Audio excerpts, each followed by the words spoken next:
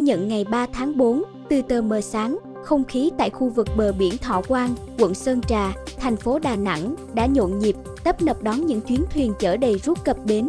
Ngư dân phải ra khơi từ 4 giờ chiều hôm trước đến 5 giờ sáng hôm sau để khai thác rút.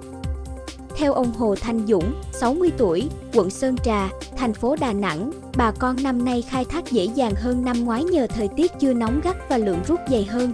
Ông chia sẻ, cứ 4 giờ chiều là xuất bến, mỗi thuyền có 3 đến 4 anh em cùng nhau làm việc.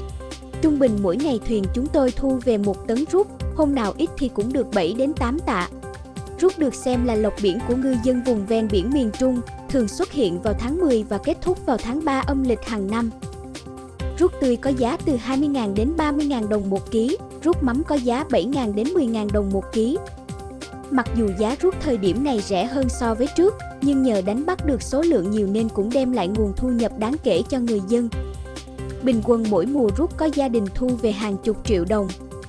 Rút là một trong những món ăn được nhiều người yêu thích, ngoài chế biến trực tiếp, rút còn được ủ thành mắm và đưa đi tiêu thụ ở nhiều nơi.